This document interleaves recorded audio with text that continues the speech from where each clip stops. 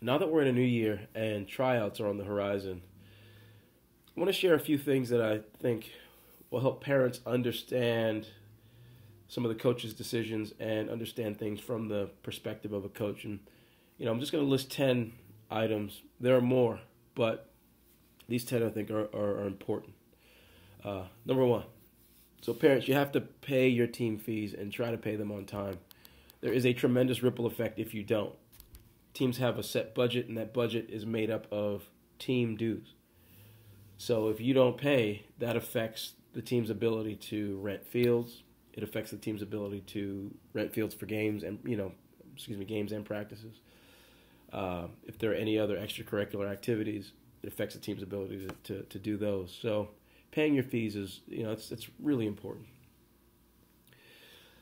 Number two, uh, assess your your life. So your life outside of soccer, and assess that you know how that affects your willingness to to commit to three or four training sessions a week. Because when you don't show up to practice, we have a difficult time preparing for games. You know, it's difficult to, to, to go ahead and, you know, expect to have progress in games when, you know, six or seven kids are coming to practice. So, you know, you have to taper your expectations also if you are not willing to uh, to commit to the developmental process and commit to, you know, sort of making soccer a priority if your team's in a team in a in an environment where you know you're sort of pushing to be high level. So, you know, assess your willingness to commit, and if you're not willing to commit, then don't take the spot from somebody else that that is. You know, so um, number three is coaches.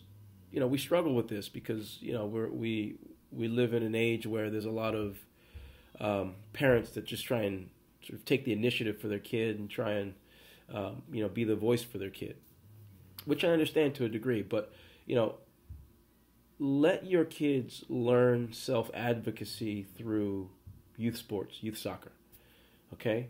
Um, again, as a coach, I don't. We don't like it when parents speak for the kids. Okay, younger kids we understand, um, but when kids get you know to the age of 12 13 and up um, you know we like to see them start to try and have discussions with the, with the coach um, talk about what they think how they feel go to the coach with any problems or any questions or concerns we we like that and it's beneficial for the kid in the long run so when you know if you're a parent that likes to speak for your kid because for whatever reason you don't think they're capable kids are more capable than you think if you don't think they're capable of articulating themselves to their coach um, you know, you're, you're, you're depriving them of that opportunity.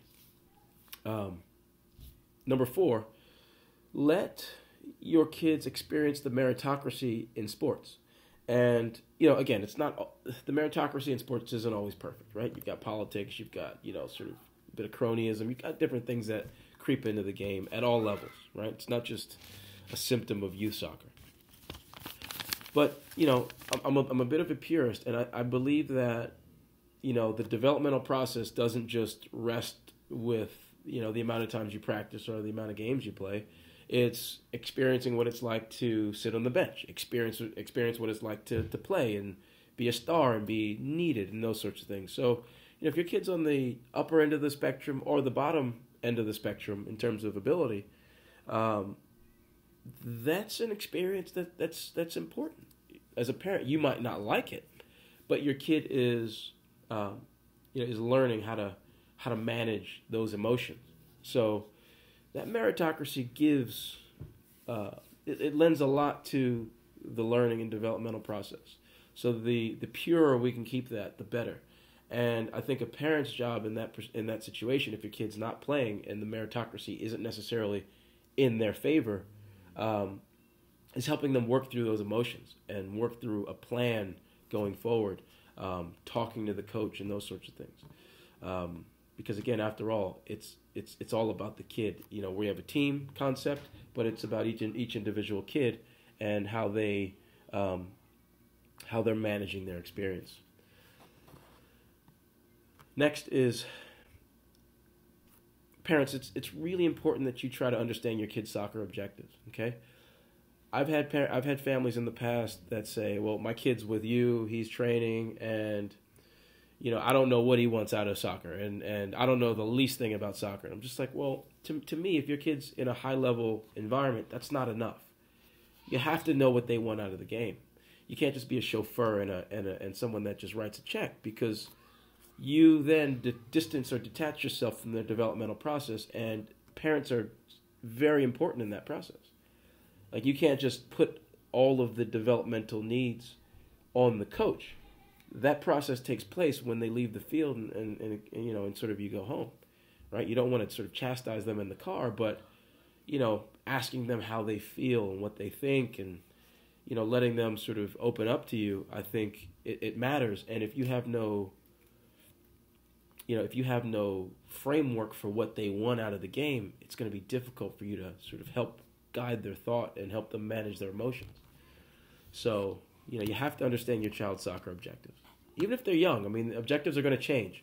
But even if they're young, you've got to you've got to start to ask them what they want. You know, it'll help you.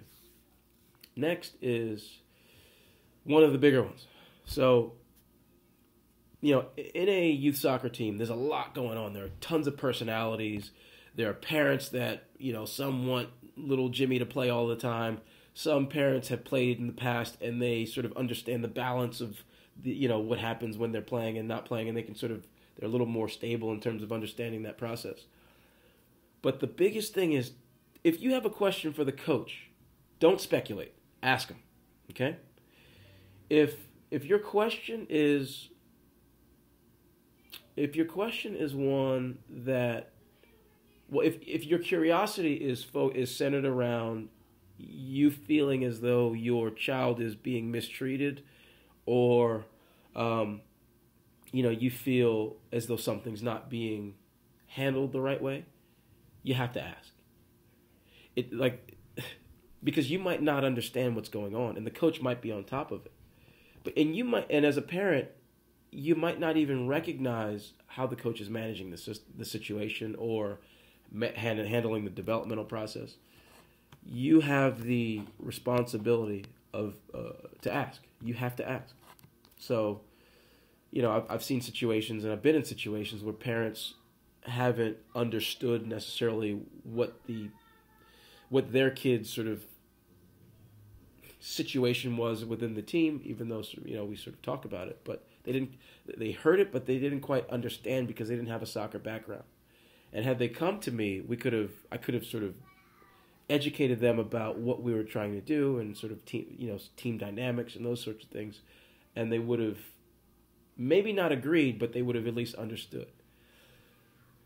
So by not bringing questions and problems to the coach, um, you know, and sometimes sort of maybe some families, you know, you have some folks that like to talk and things like that. It it can destabilize an environment that otherwise could be very beneficial for their kid.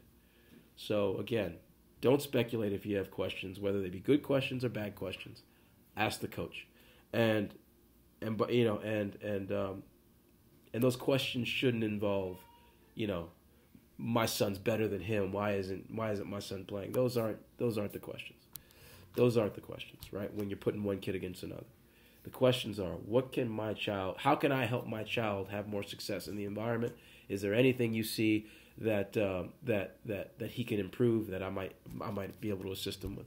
Those are some of the questions that that actually have next steps and can produce positive results.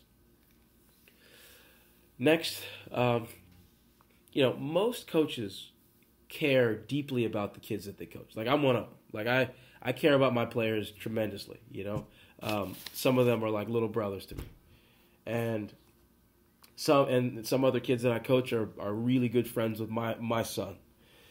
And you know, we we develop these relationships, and we're we're we're, at, we're like helping, again, depending on the level your kid plays in, we're helping them like take steps towards their dream. You know, some of them dream of playing in college, some of them dream of playing professionally. So it's it's a really important dynamic and, and, and, and bond that you build with some of your players. You know, we see them in their best times. We see them in their worst moments. You know, I mean, you're when you're sort of you know on your last breath and you're working really hard. I mean, it's it's really difficult. I mean, you see them at their at their most vulnerable, and you're helping them through that that process. So just understand that you know, often coaches are seeing these kids in a light that you're not. Okay, and there's certain things that we recognize. Some of us, not all coaches. I mean, not every coach is, is great, right? I'm not saying I'm a great coach, but I'm just saying I, I've I played professionally. I've won. I played collegiately at the highest level. Played professionally at the highest level. I've won national championships as a youth player, um, and I recognize certain emotions and feelings and disappointments. I recognize those things because I've been through it. You know, so um, you know, so I'm going to respond a certain way to some of those reactions that the kids give, and if a parent hasn't necessarily had those experiences, um, you know, they might not recognize what's going on. But you know, again, coaches that have, you know, sort of put the time in, that are passionate, that are curious, give them the benefit of the doubt. Okay, because again, most of these coaches really care about your kids. So if there's anything in question, just give them the benefit of the doubt. The next is um, this is important, right? Making making any team doesn't mean that you're gonna that you're guaranteed playing time in meaningful games. I think a part of development is getting game time, right? So I, I believe that kids should play. I believe you should you should be able to give every kid opportunities to play. However, in meaningful games, this is where the meritocracy comes in. You know, I, I don't think it's I don't think it's justified um, to not put your strongest team out in games that you know sort of have high stakes.